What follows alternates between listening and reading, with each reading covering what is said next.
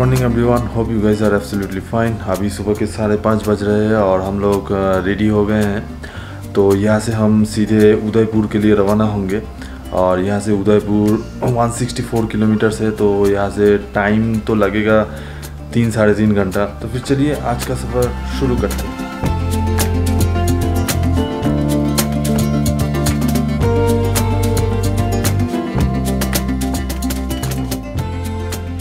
सुबह जितना जल्दी हो सके हम लोग निकल पड़े उदयपुर की तरफ़ क्योंकि ये माउंट आबू से उदयपुर की डिस्टेंस लगभग 164 किलोमीटर है।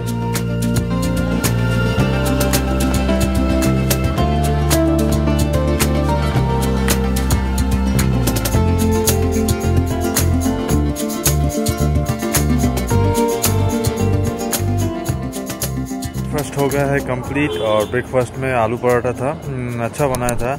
आ, मैं तो दो खा लिया अभी पेट बहुत ही भर चुका है। तो अभी हम यहाँ से सीधे एकदम डायरेक्ट उदयपुर जाएँगे और उदयपुर होटल में चेक इन करेंगे। तो फिर चलिए चलते हैं।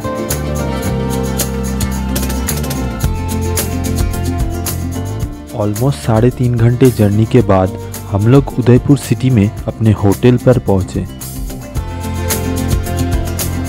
तो लंच हो गया है कंप्लीट और अभी हम निकलने वाले हैं उदयपुर साइट सीइंग के लिए।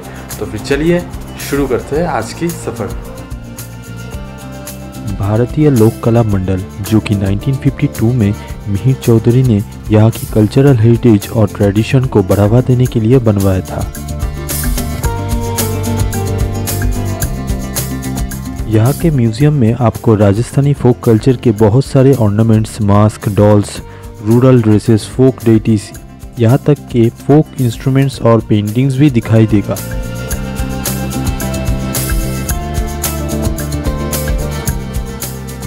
और जो भी लोग उदयपुर घूमने के लिए आए, वो इस म्यूज़ियम को ज़रूर अपने वॉच लिस्ट में रखें।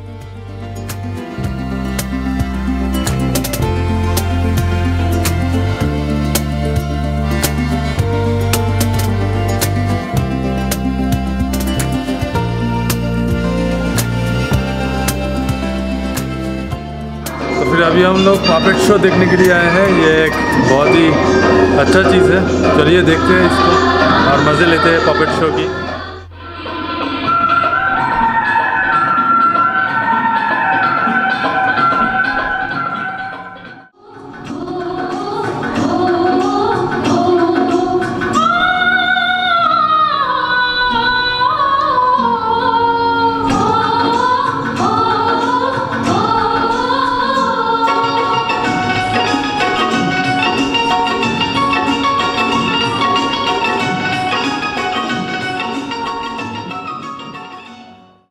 जा रहे हैं सहेलियों का बाड़ी देखने के लिए। चलिए देखते हैं ये कैसा है।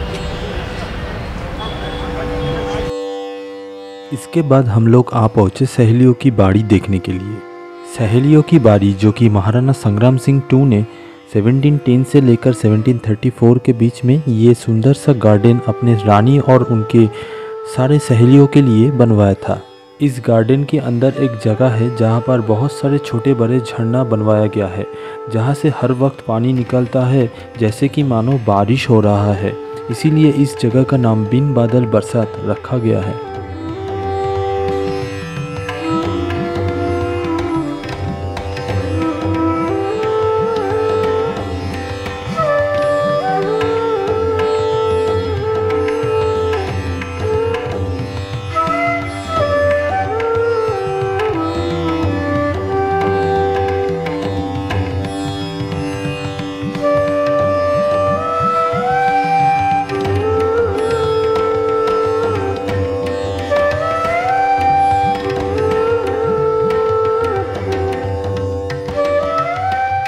तो फिर अभी मैं फतेह सागर लेक के ठीक सामने खड़ा हुआ हूँ और ये लेक काफ़ी बड़ा है और देखने में बहुत ही ज़्यादा अच्छा लग रहा है। अभी शाम का वक्त है तो बोटिंग भी चल रहा है वहाँ पर। अगर कोई चाहे तो यहाँ पर बोटिंग भी कर सकते हैं। और यहाँ पर लेक का नज़ारा आप देख सकते हैं मेरे पीछे, ठीक। Good morning everyone hope you guys are absolutely fine अभी सुबह के साढ़े आठ बज रहे हैं और हमने ब्रेकफास्ट भी कर लिया है। तो आज हम फिर से उदयपुर घूमने के लिए निकलेंगे क्योंकि कल पूरा कंप्लीट नहीं हुआ। तो आज बाकी का हिस्सा पूरा कंप्लीट करेंगे। तो फिर चलिए, आज का दिन का शुरुआत करते हैं और अच्छे से घूमते हैं। दूध तलाई जो कि पिछोला लेक के एकदम पास में ही है, छोटा सा ये तालाब आर्टिफिशियली बनवाया गया है।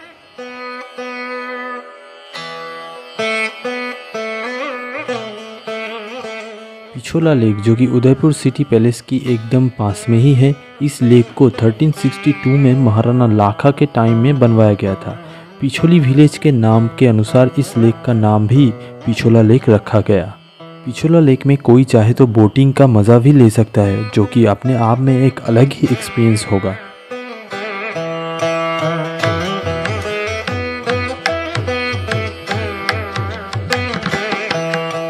अभी मैं सिटी पैलेस उदयपुर के ठीक सामने खड़ा हुआ हूँ और मेरे पीछे है बड़ी पोल जो कि मेन इंट्रेंस है पैलेस का।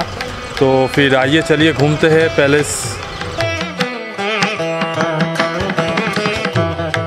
तो अभी मैं उदयपुर सिटी पैलेस के अंदर हूँ और ये पैलेस 1559 में महाराणा उदय सिंह टू ने बनाना स्टार्ट किया था और उसके बाद से जो महाराणा आए, वो भी ये पैलेस को अपने अपने शासनकाल में बनाता रहा। तो फिर आइए चलिए घूमते हैं सिटी पैलेस। झूला लेक घूमते घूमते हम लोग आ पहुँचे उदयपुर सिटी पैलेस के अंदर।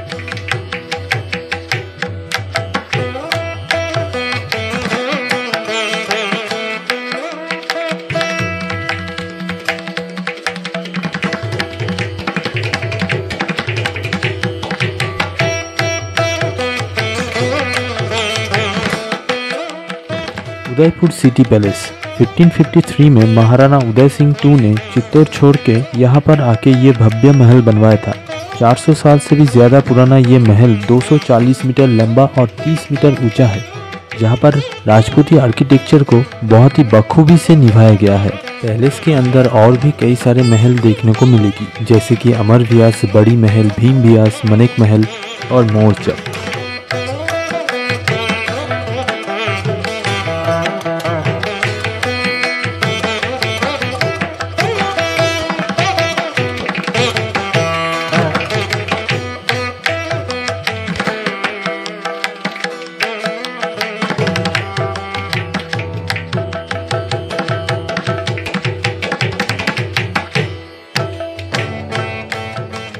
प्रकाश पैलेस के अंदर प्रताप कक्ष में आपको महाराणा प्रताप के युद्ध के सारे अस्त्र शस्त्र और पोशाक देखने को मिलेगी।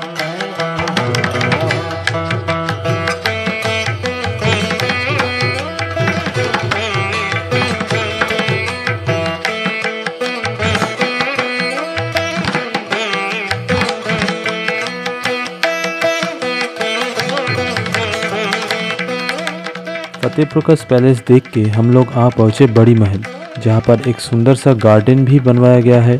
छोटा सा स्विमिंग पूल है और मेनली यहाँ पर होली का त्यौहार मनाया जाता था।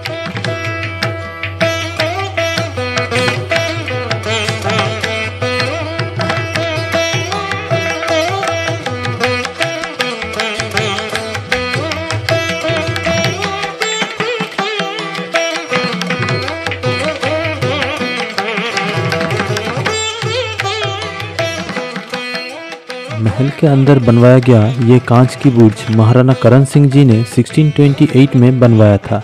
छोटी सी ये कक्ष कई सारे रंग बिरंगी कांचों से बनवाया गया है।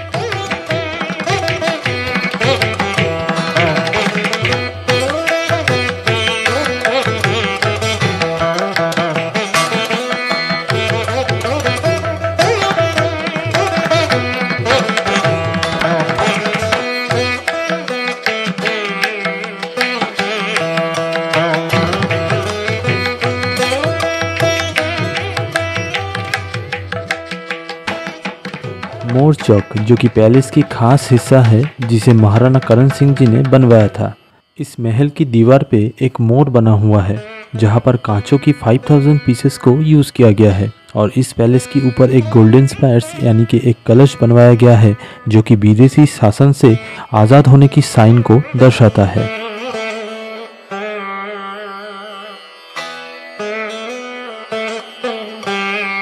मनेक महल, जो कि 1620 से 1628 के अंदर महाराणा करण सिंह जी ने बनवाया था और महल के कांच का काम किया गया है महाराणा स्वरूप सिंह के टाइम पे। अमर महल, जो कि महाराणा अमर सिंह द फ़र्स्ट ने 15 सेंचुरी में बनवाया था और ये महल पैलेस की सबसे ऊँची मंजिल पर बनवाया गया था।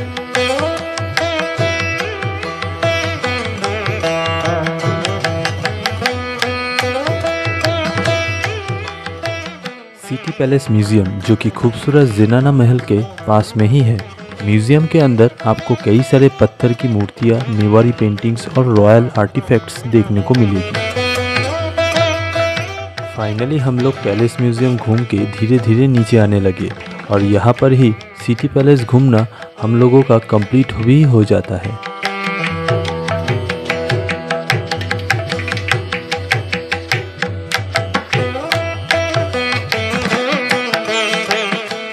तो लंच हो गया है कंप्लीट और अभी हम उदयपुर को अलविदा कहते हुए सीधे चित्तौड़गढ़ जाएँगे और चित्तौड़गढ़ में आज रात को नाइट स्टे होगा। तो अगर आपको ये वीडियो अच्छा लगा हो तो प्लीज़ लाइक कीजिएगा कमेंट कीजिएगा, अपने दोस्तों के साथ शेयर भी कीजिएगा। और जो हमारे चैनल में नए हो प्लीज़ सब्सक्राइब कीजिए हमारे चैनल को और बेल आइकन को भी दबाइए। और हमारे वीडियो की सारी इन्फॉर्मेशन डिटेल्स आप लोगों को हमारे डिस्क्रिप्शन बॉक्स में मिल जाएगी। तो तब तक के लिए stating to us and escape unwind yourself